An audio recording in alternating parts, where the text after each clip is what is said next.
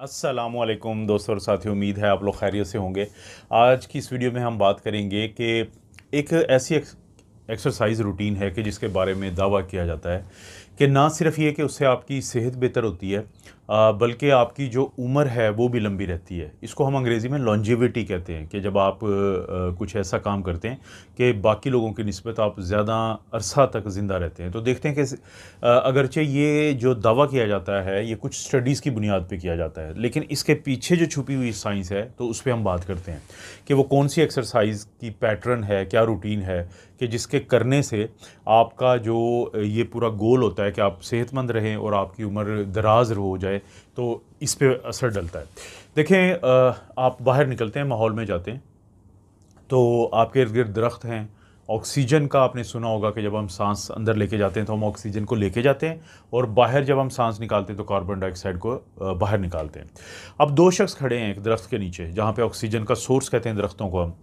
एक है एथलीट है वो यानी वो ट्रेनिंग करता है वो रनिंग करता है वो खेल कूद में बहुत ज़्यादा यानी कि हिस्सा लेता है। साइकिलिंग करता है ये समझ लेते हैं कि डेली उसकी रूटीन है ये स्विमर है बहुत अच्छा स्विमिंग करता है।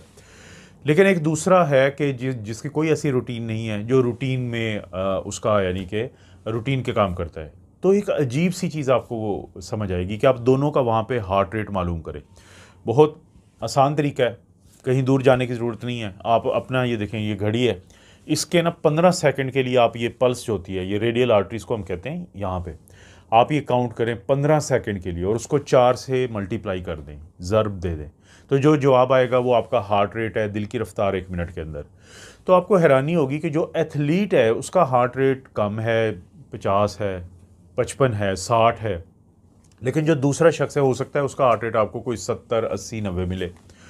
तो सवाल पैदा होता है कि ये वजह क्या है? इसका मतलब है कि ये जो बंदा एक्सरसाइज करता है, इसका जो दिल धड़क रहा है, उसमें जो बुनियादी तब्दीली आ रही है, इस, उसका ताल्लुक इसकी एक्सरसाइज से है। यानी उसका दिल इतना एफिशिएंट है, इतना पावरफुल है कि वो एक मिनट में कम दफ़ा भी धड़केगा तो इतना उस अपने जिसम को, जो कि ज़ाहिर एथलीट्स का जिसम ज़्यादा एक मज़बूत होता है तो उसको वो सारी ऑक्सीजन पहुँचा रहा है, जो दूसरे शख्स के दिल को एक मिनट में ज़्यादा दफ़ा धड़कना पड़ता है। वो बहुत ज़्यादा एफिशिएंट नहीं है तो ज़्यादा दफ़ा उसको ये करना पड़ता है।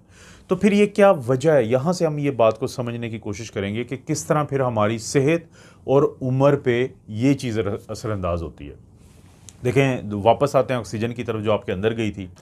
हमारा ये ऑक्सीजन आप देखते हैं, जिसको ट्रेकिया कहते हैं, नरखरा, इसको उर्दू में कहते हैं तो ट्रेकिया के नीचे ब्रोंक्योल्स हैं, सांस की नालियाँ शुरू हो जाती हैं, फिर फेफड़ों के अंदर थैलियाँ होती हैं, जिसको एलव्यूलाई कहते हैं।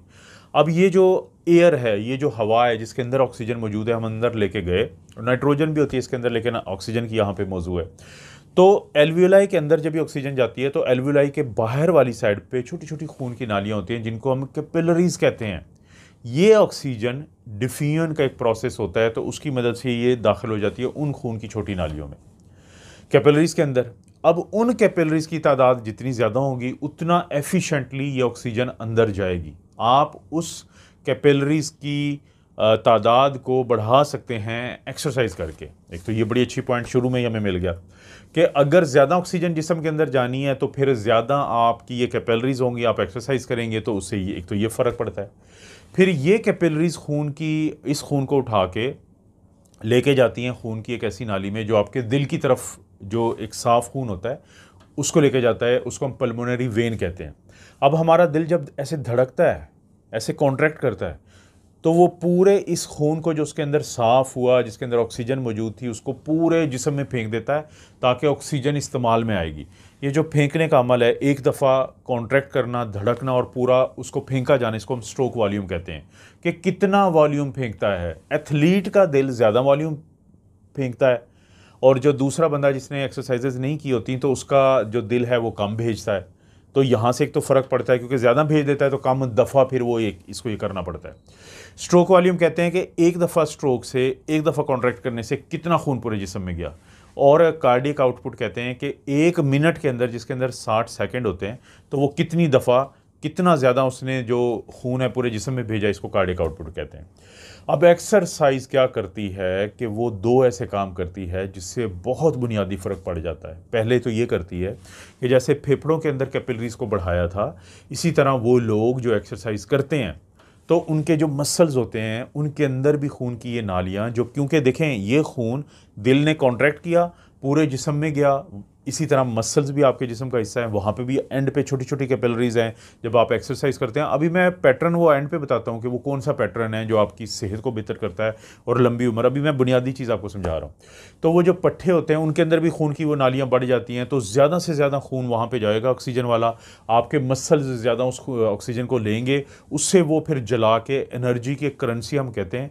जैसे हम रुपया इस्तेमाल करते हैं डॉलर इस्तेमाल करते हैं पाउंड इस्तेमाल करते हैं तो हमारा जिसम बनाता है A T P adenosine triphosphate जो कि इस्तेमाल होता है फिर हम हमारे मुख्तलिफ़ काम करने में।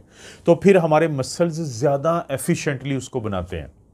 जब ज़्यादा बनाएँगे तो हमारे जिसम में काम ज़्यादा वो आएगी तो मसल्स की परफॉर्मेंस बेहतर होगी। लेकिन ये मसल्स और ये परफॉर्मेंस सिर्फ़ ऑक्सीजन इस्तेमाल करने में नहीं, आपके जिसम में जो चर्बी पड़ी होती है फिर उसको भी एक्सरसाइज करने वाले पट्टे ज़्यादा उसको खाते हैं, इस्तेमाल करते हैं, जिससे आपका मोटापा कम होता है। अब ये मसल्स हैं, ये वो फेफड़े हैं जिनको के खून की नालियाँ बड़ी थी मसल्स की भी बड़ी थी, दरमियान में पड़ा है दिल।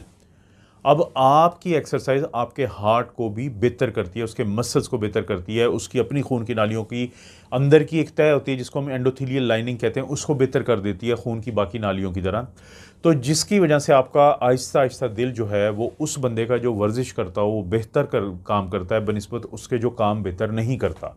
क्योंकि एक अहम चीज़ समझ लें कि 220 माइनस आपकी उम्र, आपने 220 में से अपनी उम्र को निकालें तो जो आएगा फिगर, जो डिजिट आएगा तो आम तौर पे हमारा दिल मैक्सिमम इतना धड़क सकता है। अब क्या होता है, आपने देखा होगा कि जो ये जाते हैं बॉडी बिल्डिंग करने के लिए, आप देखते हैं कि एक लड़का जिसको आपने कोई पाँच साल पहले देखा था तो वो बिल्कुल पतला सा होता था। फिर आप पाँच साल बाद उसको देखते हैं कि उसने कहीं जिम जाना शुरू किया, लेकिन आपकी पाँच साल के बाद मुलाकात होती है तो आप देखते हैं उसके मसल शसल बने होते हैं। वो बड़ा वेल बिल्ट होता है। वो क्यों वेल बिल्ट हुआ? क्योंकि उसने जाके अपने जो मसल्स हैं, उनके, उनको रेजिस्टेंस ट्रेनिंग करवाई। वज़न उठाया, जिसके दबाव से वो मज़बूत हो गए। तो जब हार्ट रेट बढ़ता है, आप जब एक्सरसाइज करते हैं और 220 ट्वेंटी माइनस एज का मैंने बताया कि आप उसकी तरफ़ जाते हैं, जब आप वर्जिश कर रहे होते हैं तो आपके दिल की धड़कन ज़्यादा बढ़ती है। तो आहिस्ता आहिस्ता वो मज़बूत हो जाते हैं, उनकी ऑक्सीजन, उनकी खून की नालियाँ बेहतर हो जाती हैं, उनका ऑक्सीजन का इस्तेमाल बेहतर हो जाता है। तो फिर जब वो मज़बूत आप देखें, एक पतला सा बंदा है, उसको आप कहें कि आपने बोरी उठा के या कोई सामान उठा के एक साइड पर करना है तो शायद उसके लिए मुश्किल हो।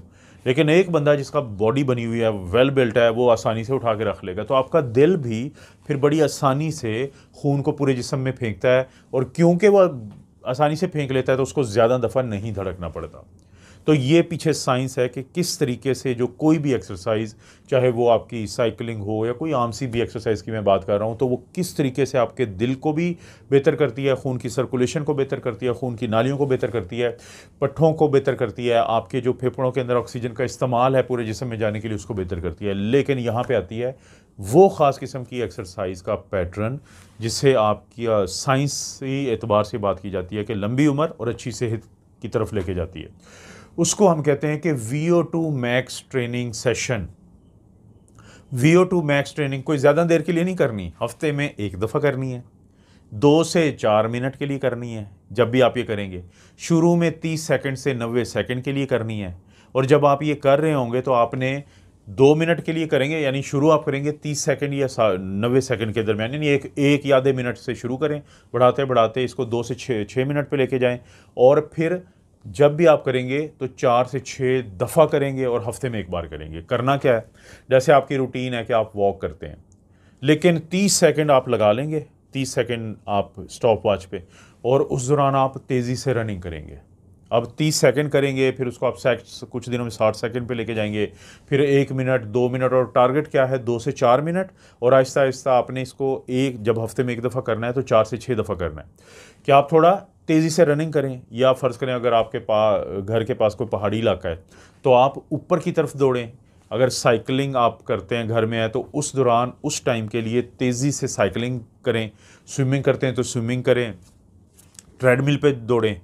तो मकसद क्या होगा इसका कि वो जो 220 माइनस एज था तो आपका जो मैक्सिमम हार्ट रेट बन सकता है, उसकी तरफ़ आहिस्ता आहिस्ता लेके जाया जाए, जिससे आपके दिल के पट्टे मज़बूत होंगे। तो वो ऑक्सीजन जो दूसरे लोग भी इस्तेमाल कर रहे हैं और आपके लिए भी वही माहौल के अंदर मौजूद है तो आपका पूरा जिसम उस वी ओ टू मैक्स यानी उसको ज़्यादा से ज़्यादा इस्तेमाल करेगा, आपके दिल की परफॉर्मेंस बेहतर हो जाएगी। जब दिल की परफॉर्मेंस बेहतर होने के साथ पूरे जिसम में खून की सर्कुलेशन अच्छी जाएगी और जब आप ये इस किस्म की एक्सरसाइज कर रहे होते हैं तो आपका पूरा जिसम जो है ऑक्सीजन को ज़्यादा से ज़्यादा अपने अंदर लेके जाने की सलाहियत को बढ़ाएगा तो उससे आपकी सेहत भी बेहतर रहेगी और आपकी उम्र दराज होती है, आपकी अच्छी सेहत।